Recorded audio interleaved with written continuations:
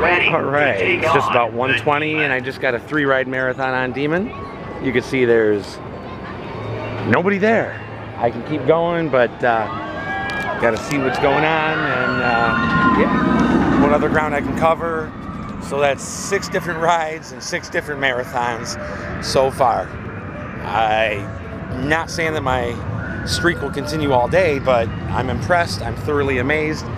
It's a nice day, and even though it's a weekday and a lot of kids are in school, you'd think that there would still be more people here. So, not bad at all.